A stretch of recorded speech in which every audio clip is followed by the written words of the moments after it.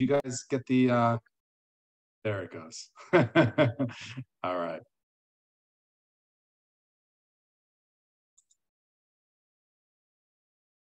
Welcome everyone to the BODC Multifamily Impact Fund webinar. I'm Gary Lipsky, President of Break of Day Capital. I'm uh, happy you you've joined us tonight. It's been uh, almost uh, a little over nine months actually since our, our last deal, so we're we're very excited to um, share with you our latest opportunity and our our, our fund that we're launching. Um, we've we've just really stayed true to our criteria. Um, it's been a long nine months, but uh, we're we're excited to to share this with you. So a little bit of housekeeping to start off. Um, this is neither an offer to sell nor a solicitation of an offer to buy the securities described herein. An offering may only be made by a private placement memorandum to which this investment summary is attached as an exhibit. You should read the private placement memorandum, including each of its exhibits in their entirety in order to understand fully all of the implications and risks of the offering of securities to which it relates. An investment in the property should be made only after careful review of the private placement memorandum. This investment summary includes forecasts, projections, and other predictive statements based on assumptions and expectations made by the manager in light of currently available information, historical property performance, industry trends, market conditions, and information provided by the seller. This property's actual performance may differ from these projections based on factors outside of the manager's control. Moreover, past performance is no guarantee of future results. Therefore, no guarantee is presented or implied as to the accuracy of specific forecasts, projections, or predictive statements contained herein. All right, so a little bit about us, if, if you're not that familiar with uh, Break of Day Capital, we focus on acquiring underperforming multifamily properties in high growth markets in the Southwest by implementing strong uh, repositioning strategies and best in class asset management to maximize the value for all stakeholders, our investors, our residents, everyone. Um, we were recognized by the American Apartment Association as the best real estate syndication company last year. Uh, they have over 139,000 members, so we were uh, very honored to get that award.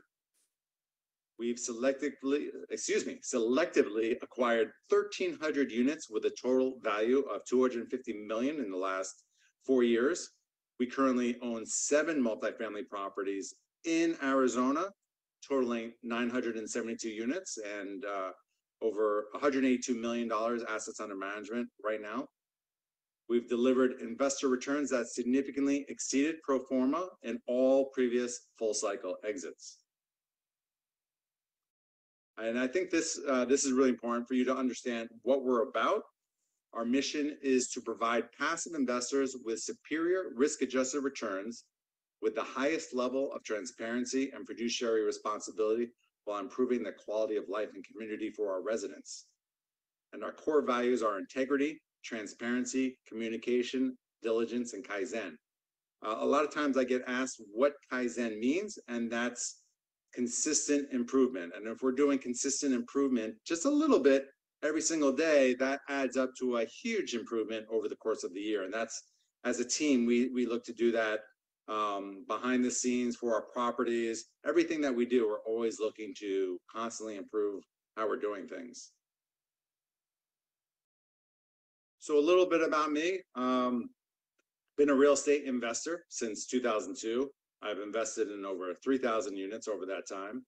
Uh, been an entrepreneur most of my life. Uh, have 30 years of, of uh, operational experience. I wrote the uh, best-selling book, Best in Class, and I co-founded the uh, Asset Management Summit. In a previous life, I uh, co-founded uh, ARC, uh, a company um, that worked with uh, at-risk youth and, and worked with 9,000 students daily throughout Southern California. And we had over 700 employees and 700 independent contractors when I when I sold that company. And I also founded the nonprofit Core Educational Services. I want to pass it over to Joe and let him introduce himself. Hi, I'm Joseph Fang. Director of Investor Relations. I have a professional background in the traditional investment management industry, having spent over a decade, five years with a hedge fund in New York City, and then seven years with a global institutional fund manager in Los Angeles. I've also been an active owner and operator of various residential real estate, from single family to small multifamily for over 20+ years, and uh, have also invested passively in close to 60 commercial real estate syndications uh, in various food groups up and down the capital stack. Eric? Hi, I'm Eric Thunberg. Um, I have 10 years experience in institutional real estate investment, spanning acquisitions, asset management, credit, uh, commercial real estate brokerage, brokerage, uh, and underwriting across many different asset classes.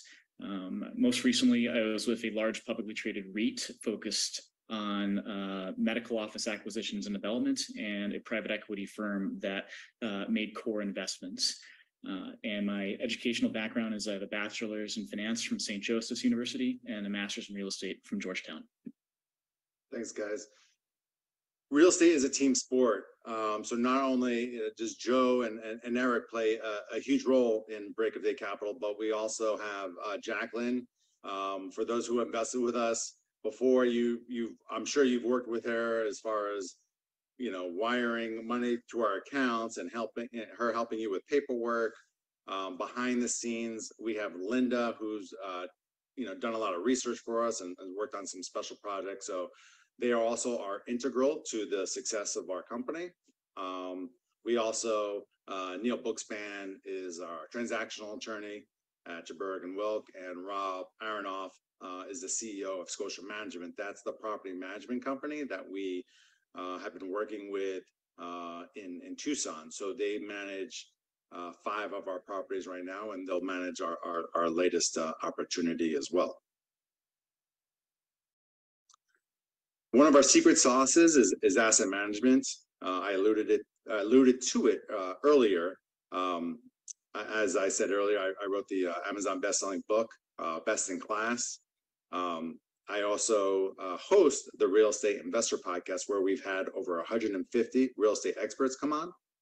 And, you know, asset management is not property management. I think a lot of investors get confused, and and that's the... It's a critical differentiator in delivering strong results. A lot of operators focus on acquisitions and capital raising, but overlook asset management. And um, I think, uh, you know, our expertise allows us to get a few extra percentage points on occupancy. Uh, we're able to uh, execute our business plan faster, and that all just goes to the bottom line. So a little bit extra effort divided by the cap rate could be millions of dollars in our investors' pockets. So, um, asset management is our our key differentiator. I'm gonna pass it off to Eric, and he could talk about uh, our market expertise. Sure. So, uh, we're focused uh, primarily in Arizona, Phoenix, and Tucson, where we have seven properties, as uh, Gary mentioned. Um, what separates us from the competition is that we really count on our relationships with local brokers, lenders, property managers. Um, so that helps us get a leg up in terms of knowing what's going on in the market, Uh, local expertise, knowing the news, knowing uh, where rents are and what expenses are in an area. Um, and as we've acquired, built up scale uh, in Arizona, that's helped us um, compound um, our our experience and knowledge in the market. So, like I said, we know what things should cost, and operationally, we know what expenses should be when acquiring and managing properties. Uh, market opportunities. So the reasons that we like investing in the Southwest, and particularly, in particular Arizona, uh, is that it's a landlord and business-friendly state. So, uh, from a real estate perspective, property taxes are generally lower than many other states. And also, it's landlord-friendly from a legal standpoint. We also like that the markets of Phoenix and Tucson have significant population base and population growth. So, uh, it gives us really good insight into uh, the market. There's good pricing information and the markets are competitive. So uh, we know that there's going to be competitive uh, competition to buy properties, but we also know there's going to be competition uh, to buy a property when we go to sell it on the exit. Um, we also like that there's really strong job growth in these markets. With that comes wage growth. And another competitive advantage to Arizona is that there's a lower cost of living. So people are moving here, and therefore it's another reason that we want to invest invest in multifamily housing uh, here in Arizona. Uh, a little bit about Phoenix.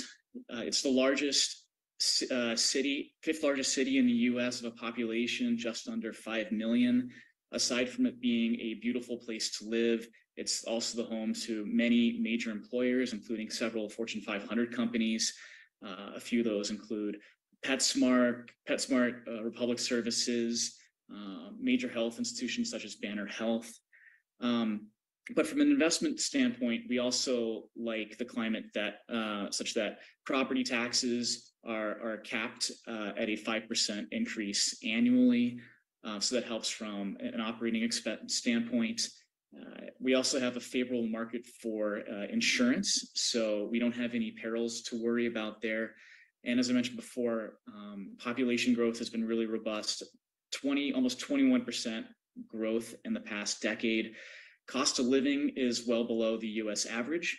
Uh, as are, as I mentioned, you know, rents are below uh, market here as well. And then the unemployment rate is really strong at 2.7% compared to the national average of 3.6%. And a little bit about Tucson. It's the 33rd largest city in the US. Um, it is the, the second largest city uh, in Arizona with a population of just about over 1 million people.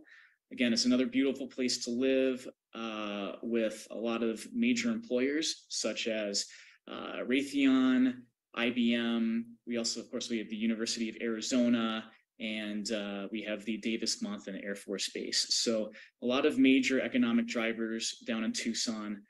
Um, again, population growth has been tremendous. We've seen 15% growth in the past decade, uh, strong, strong rent growth, and market, occupancy has been very strong at uh, 92.6%. Uh, we also feel that it's an overlooked market, and we've been able to take advantage of that based on our track record in Tucson. Um, you know, we've we've had some very successful exits and continue to see continue to see a lot of opportunity in Tucson. So you know, taking advantage of um, lower lower rental prices and a lower rent to income ratio in the market, which uh, benefits uh, not only tenants but also investors such as ourselves. Thanks, Eric. So um, our value add strategy isn't that different from a, a lot of others. Uh, I think what kind of separates us is is is having a vision. Um, we've done a couple of adaptive use um, projects where we bought uh, student housing, we converted to multifamily. You know, we we we heard the numbers from the broker, we saw the site. It was just an easy conversion. Um, that property we bought it at I think it was like 52% occupied um, in the winter. And by the summer, we got it to over 90%. So um, that property, we're actually uh, refining out 100% of the money to investors a little over two years, and we'll sell at a more opportune time. Um, you know, we when we walk a property, we can instantly see what what needs to happen. We know the numbers. We you know we've done this time and time again, um, and um, you know so it's just it's just, you know, hitting our doubles, triples, you know, home runs when you get them. Um, but, you know, we do the exterior facelift. Uh, that's an easy win. We beautify the property, and I'll show you some examples coming up. And that just changes the whole feel of the property. When you work on the exterior, residents feel more proud to live there. We're getting a lot more traffic. Then we can kind of focus on the interior renovations. Um, and you know, it's it's flooring, it's countertops, uh, new appliances, uh, washer dryers if possible, um, two tone paint. Uh, so just you know, basic stuff that goes a very long way. We also add amenity upgrades and, and it doesn't have to cost us a lot of money. A dog park with toys and everything could be fifteen thousand dollars and that's an amenity that residents love. Um, we typically have to renovate the pool area each time, um, and, and add new colorful furniture. We upgrade the fitness center, the playground if need be, and we tackle deferred maintenance. This is a property we bought at the end of twenty twenty-one. Uh, it was called Ironwood Apartments, so you could see that picture in the top left. So when I, when I heard the rents, uh, what they were charging, and we knew that area, and they were hundreds of dollars below the market. And I looked at the property, I knew instantaneously that, you know, there was a ton of meat on, on, on the bone here on, on this property.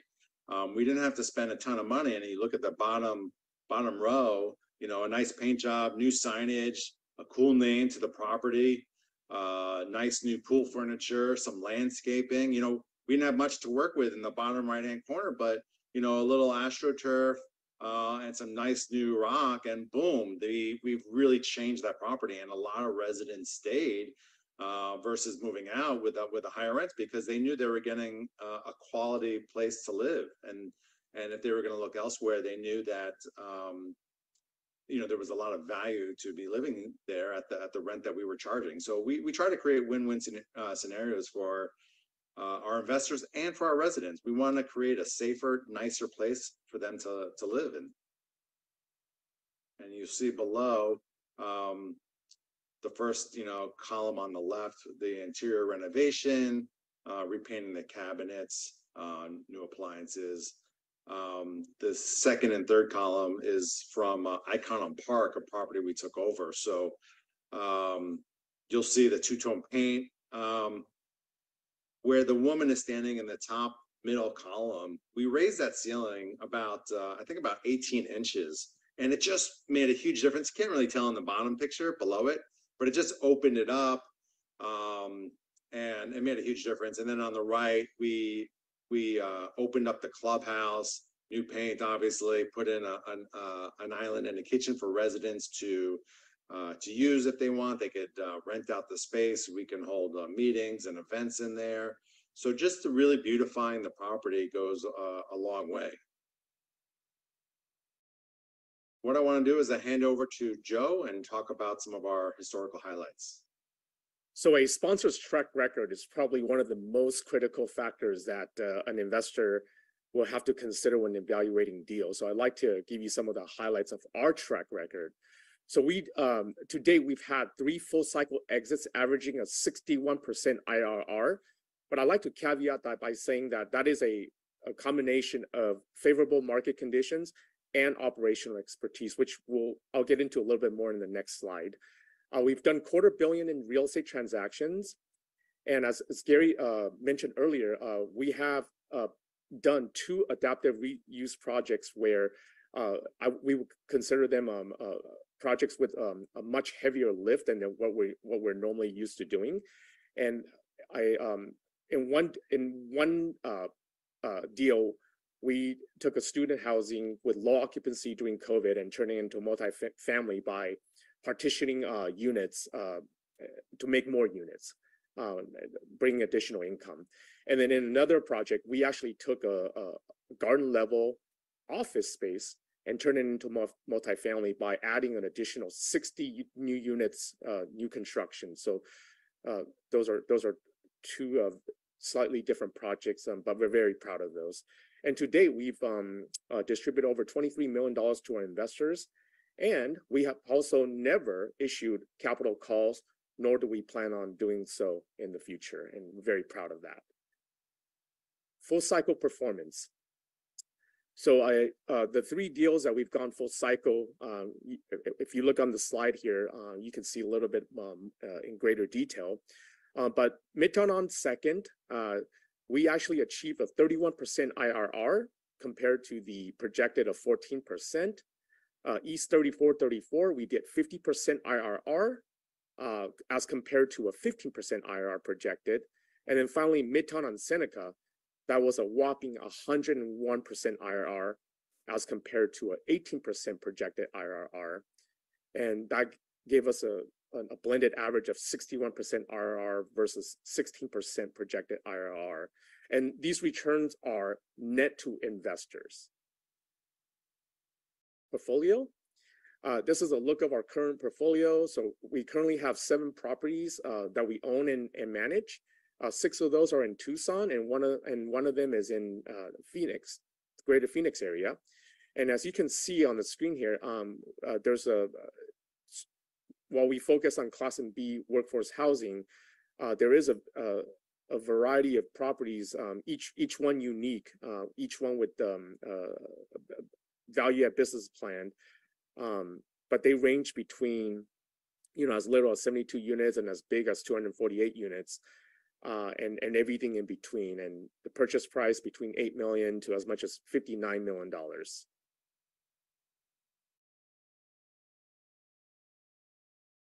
So why invest in multifamily now? Well, I, I'm going to be a little bit biased, but I've been in multifamily for many, many years, and I, I've seen how it does during recessions. So I can certainly speak uh, from my own personal experience, but it's because it's recession resistant while being an inflation hedge. And if you look on the graph here, uh, we pulled this from actually from Origin Investments out of Chicago, but they did a study and it showed that private real estate uh, actually outperformed safe havens such as a two-year uh, U.S. Treasury during the last three major recessions. So I thought that was pretty amazing. Um, you know, it, it's a great inflation hedge. I, I I don't think that's a secret to anybody. The Fed is going to continue to print money when it, whenever there's trouble, and for us to you know uh, preserve our wealth, we kind of don't have a choice but to invest in hard assets. And we really like to express that view um, through workforce housing. Uh, there's plenty of studies out there that show that there's a significant shortage of workforce housing, and Class B and C workforce housing is in that is a prime candidate in that particular asset type.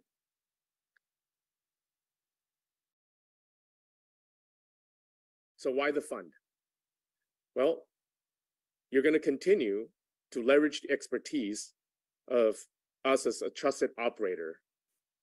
We have very stringent acquisition criteria, conservative underwriting, and we have a track record of success. But we want to package it in a way that reduces the dispersion and stabilize the cash flow for investors. Always trying to find ways to add value, as what uh, Gary alluded to earlier, Kaizen. Uh, we think that the fund model is efficient. Uh, you only have to sign one subscription agreement, and you're gonna get one K one, but you're gonna have exposure. Your money's gonna be spread across multiple properties, and you're gonna get the same benefits as if uh, in in the traditional model where we're doing single asset syndications. Uh, the the investments backed by uh, hard assets, so there's always uh, a priority for capital preservation and you're going to get the same tax benefits uh, the cost segregation studies that we're going to perform on all these properties and then uh, and then uh, be able to um, put that in the in the bonus depreciation um, and uh, also uh, we're going to um, offer a special to investors who invest with us in the fund uh, in the first 60 days by not by waiving the uh, fund management fee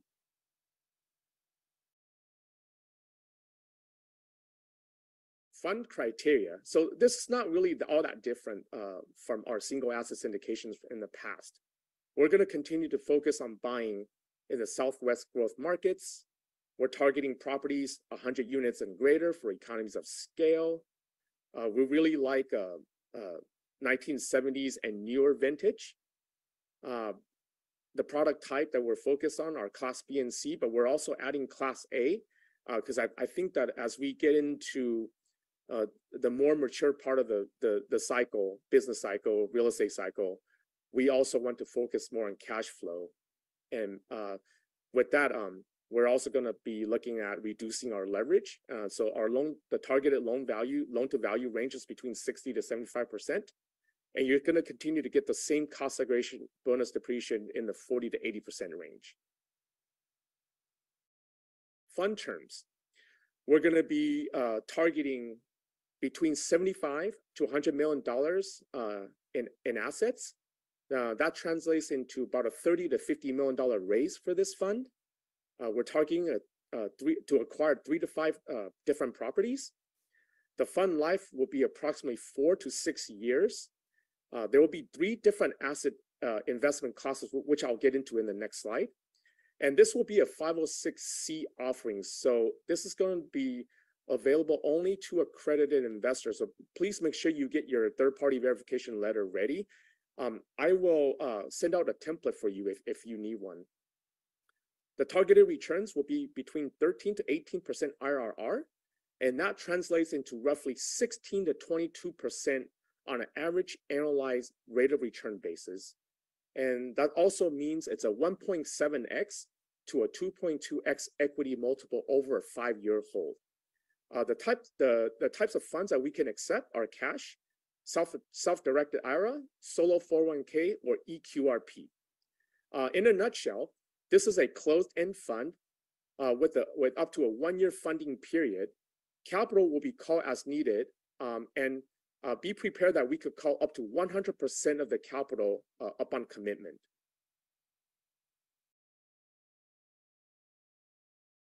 Uh, investment classes. So there'll be three options for our investors. There's a Class A preferred equity. Uh, and for those of you who don't know what preferred equity is uh, versus common equity, preferred equity basically just means that you're still an owner, but you sit higher up on the capital stack. So you have lower risk than common equity. But the trade-off is that uh, the preferred return is fixed at 10%. So that means that there's no additional upside beyond the 10%. And you should expect to receive the distributions on, uh, on a monthly basis. Uh, we, ex- we expect to start distributions about one month after closing. Class B and C are common equity. Uh, the Class B uh, uh, share class comes with 7% preferred return. And it, then it's a 70 30 split in favor of the investors to a 15% IRR. And then it's a 50 50 split thereafter. Uh, distributions will be uh, will be made out on a quarterly basis. And we expect to start distributions roughly uh, within six months after closing. And it will come with a bonus depreciation between 40 to 80%. And finally, we have a Class C common equity institutional class. Uh, you're going to get uh, better economics with this class, but the minimum is also a lot greater at $1 million. The preferred rate is 8%. It's an 80 20 split in favor of the investors, and there's, there's no additional waterfall beyond that. Quarterly distributions, and again, same bonus depreciation, uh, 40 to 80%. The fund timeline.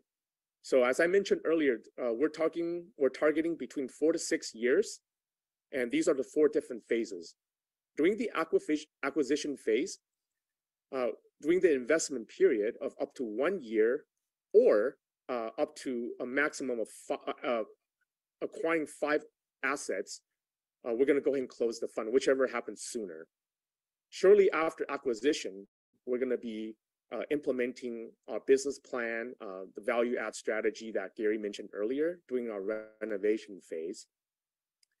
And then follow, following the renovation phase, we have uh, what we call the sta- stabilization phase, where we will fine tune, you know, once we get the assets to sta- stabilization, we're going to fine tune uh, using various techniques, um, try to get squeeze uh, um, the, the last dollar out of the deal, um, trying to uh, increase NOI and, and occupancy and, and just basically get the properties ready uh, for, for sale.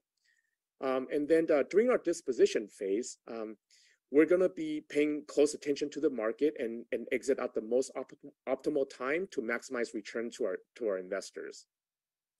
I also want to note that um, we do not intend on uh, reinvesting the cash uh, uh, from dispositions we intend on making distributions, uh, return of your capital plus profits once we exit the property.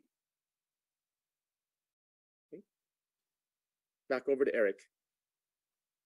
All right, so this is going to be our first acquisition in the fund. It's the place, it's called the Place of Spanish Trails, which is a uh, nineteen seventy-nine built uh, garden-style apartment uh, down in Tucson, roughly nine miles east of downtown and less than a quarter mile south of Broadway.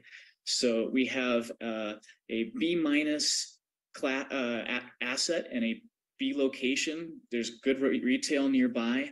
Um, it's 256 units, uh, 80 just under 89% occupied. Um, so uh, I'll tell you a little bit more here about the the particulars. So uh, our purchase price going in is 34.5 million, which equates to just under 135,000 per unit. Uh, we are getting quotes right now from Fannie and Freddie for uh, low leverage at about 66% loan to value. Again, we're looking at about a five-year hold. Um, so there are really four uh, value add levers on this property. Um, so the first being that of the 256 units, uh, 101 of those units are classic.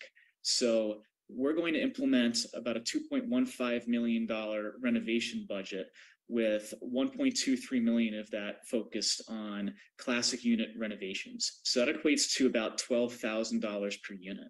So we're gonna we're gonna uplift the classic units to uh, to market. Um, the other value add lever we have here is an operating cost. So uh, we've already walked the property. We've done most of our due diligence on it.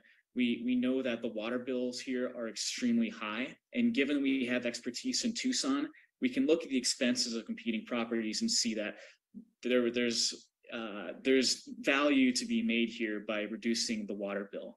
And the way we're going to do that is by uh, uh, inputting uh, low flow toilets uh, throughout the, the, the uh, apartment complex.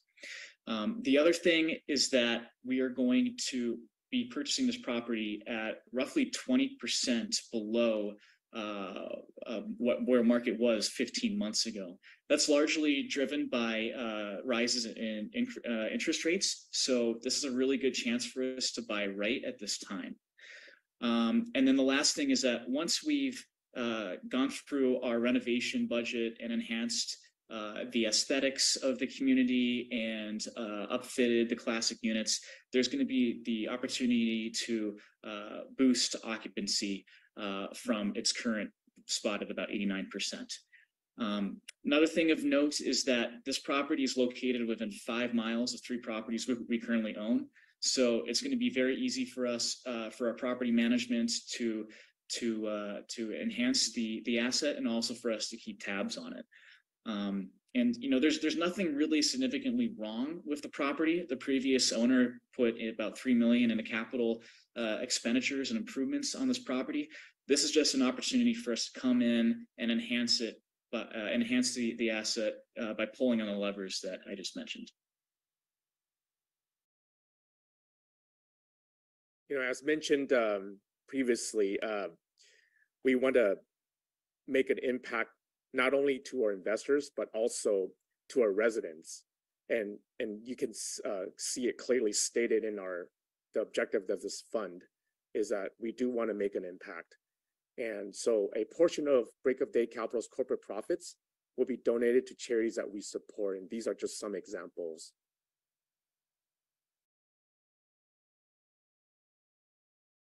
Testimonials. Um, I'm just going to read you one if you don't mind from Stephen.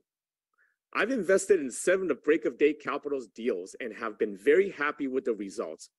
I can always rely on Gary and the team to respond quickly and provide me with all of the information I need. I have complete confidence that Gary and the Break of Day Capital team will continue to provide me with the information, diligence, and returns that I have experienced. So we really appreciate feedback, good and bad, from our investors, and especially uh, when it's very constructive criticism. You know, we do take it to heart and uh, always wanting to make improvements. You know, consistent with one of our core values, which is to constantly make improvements. Improvements. So it gives us some a great sense of satisfaction that um, you know we we are uh, we are hitting our marks, you know, in our mission. So we appreciate our investors. Finally, uh, just want to reiterate why we're here. Um, so same uh, expertise and value add large multifamily, the same uh, focus to operations and our quality of asset management, but we want to package it in a way that not only reduces risk, um, but also improve on cash flows and just continue to add value in which in however we can for investors and our residents. And um, we're gonna we're gonna do this at no additional cost to you if you um, if you sign up with us over the next 60 days. All right, so next steps, sign up to our portal. Uh, and you could get uh, our portal through our website at breakofdaycapital.com, or you can use a QR code um, below. Um, read all the documents. So uh, we haven't um, finalized all the documents yet. They'll be up on the portal in about uh, two weeks, hopefully less. We'll send out an email to those that have uh, registered um, and that are interested. So you can go on the portal, sign everything there, nice and easy. You'll have to do your um, accredited investor um, um, letter or or you know get the approval on the uh, the website. Um, and then um, wire the funds. Um, so nice and easy. Jacqueline can help you with any of those steps. If you have questions about the fund uh, itself uh, joe will be a great person to reach out to and i'm going to share his information in a second. But if you had questions about um, the paperwork and whatnot, Jacqueline is the uh, the best source. And we're going to send out. We've already sent out actually um, uh, about nine pages of of FAQs uh, to go over all the questions you may have, and and uh, it was a great process for us to kind of go through all the different questions people will have. So make sure you read that because it'll be super helpful. Um, but we're happy to take any questions you may have. And here's Joe's information. Uh, but but like I said, really go through the FAQs first before everyone bombards uh, with Joe with uh, questions regarding the uh, the fund. Um, and and like I said, you can also reach Jacqueline if you have questions with the paperwork. Jacqueline at breakofdaycapital.com. Um, so we're going to open it up to uh, some questions, uh, and um, let's see what we have here.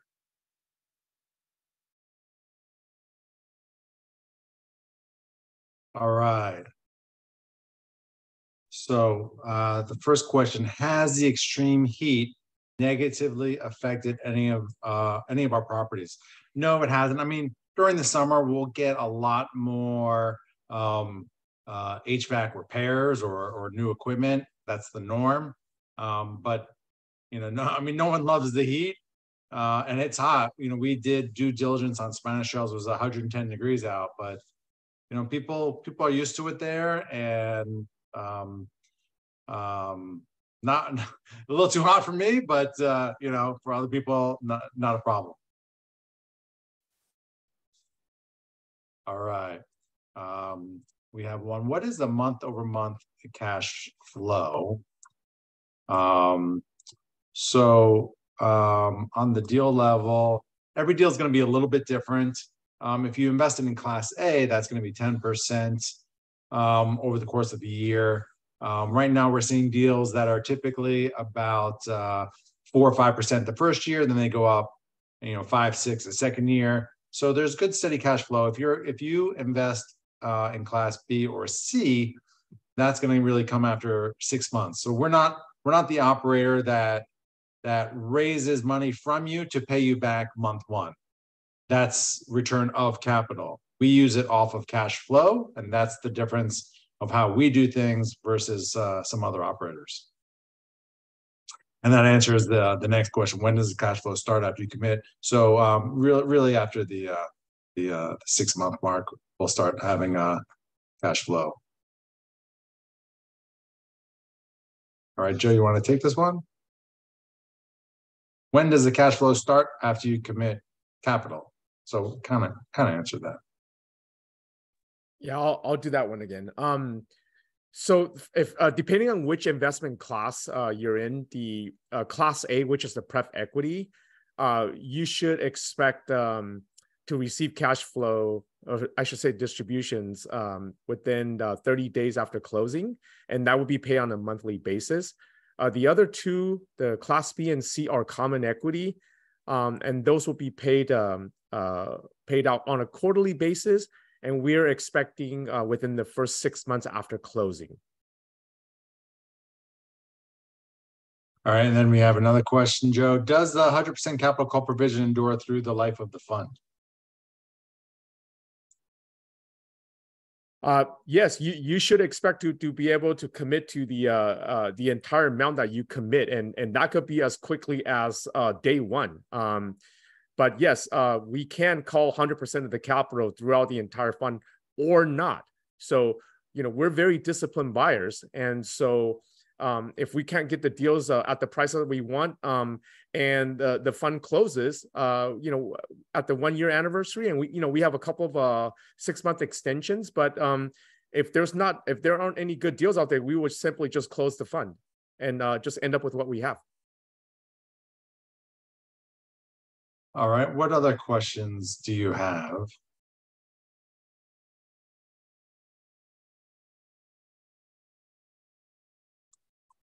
Anything else? Guys are making it easy on us tonight. I appreciate that. Um, like, like, uh, like we said, the, uh, FAQs will be, um, if you haven't read them, definitely check it out. We've got I don't know, maybe, maybe 50, 100 uh, questions that we answer there. If you have other questions after you watch the, the webinar, you know, definitely feel free to reach out. We want to make sure we answer all your questions. We do have another one coming in. Do you expect any further equity sources for the deals or will the fund be enough for all deals? Uh, Drew, we're going to look at that on a individual um, basis. Um, right now, our goal isn't. Um, you know, we could, uh, pref is, is, is, is an option if we wanted to go that way. Certainly we'll let you know. Um, you're seeing really good pref terms right now, up to, you know, thirteen percent max with pari passu. So what that does is actually help boost, uh, IRR returns. I know they're in a higher position, but, um, they, um, uh, those are really good pref, uh, pref, um, options right now, but that's not something we're, we're looking to do. Um. All right, any other answers? Que- sorry, questions, all right. Uh. All right, with that question is any potential major risk, what would cause them? So the beauty of in- investing in Arizona, we don't have I'm gonna, I'm gonna knock on wood here. Uh, we don't have the hurricanes, tornadoes, um, the, you know, Texas freezes, you know, insurance is, is relatively low compared to most of the other states because we don't have such natural disasters. Um, I think people like to bring up the water issue. And if, if, if water is the biggest issue for this deal, then man, this is a grand slam because Arizona is really smart because they look at it as a hundred year issue. And so they're working on things years and years and years way in advance. Um, I live in California where I think we're going to have problems much sooner than that. But um, Arizona, we've got many, many years of runway before water becomes an issue. And again, I'm going to knock on wood. All right. Um, here we got a question. Is the fund management fee a fixed percentage? Yeah, I can answer that one, Andrew. Um, yes, uh, yeah, it, it is a it's a one percent fixed AUM, but we are gonna waive it for the first sixty days. So take advantage. All right, next question. Have you identified the other properties in the fund and what is the timeline for acquiring them? We have some, uh, some deals that we like in our pipeline. Well, but there's no guarantee. Um, we'll agree on the price right now. We're still gonna keep to our same conservative underwriting and criteria. So we're not gonna just do a deal just to put it in the fund. That's, we, we don't operate that way. Um, but we are seeing some, some intriguing, uh, properties. And so we'll be very diligent and and and and staying, like I said, staying true to our criteria. We're not gonna overpay for for a deal. So as we get uh more deals in, we'll we'll share them with the with our investors. Here, you might, uh, do you want me to take Rick's, uh, Rich's question? Yeah, I can do that one. Um, hey, Rich, so yes, um, so what, what we're expecting is that whenever a deal sells, uh, we're going to, we're going to return capital and profits to the investors. We're not going to reinvest that cash and recycle that money. Um, we, we like putting money in our investors' pockets. Um, speaking as a passive investor myself, there's nothing that um, showcases, you know, your operational expertise and that you're an astute investor and and uh, a good steward of capital by putting money in investors' uh, pockets. There's, there's no other way to put it, and that's the way we're gonna go. And Suresh asks, are all the properties in Arizona? Not necessarily. We've been, uh, you know, we've done, this will be our eleventh deal in Arizona, but we've been looking in Albuquerque and Vegas and Denver for over a year and a half.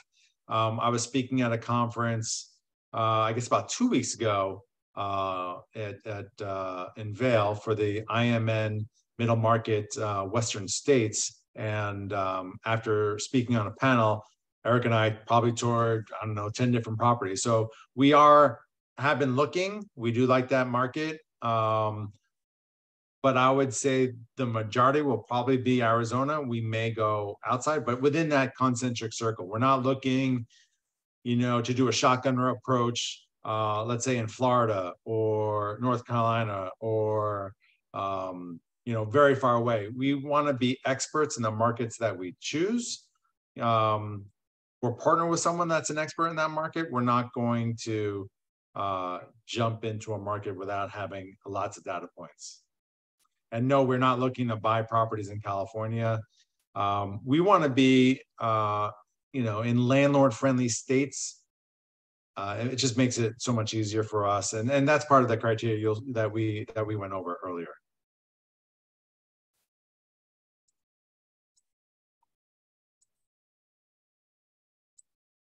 Any other questions?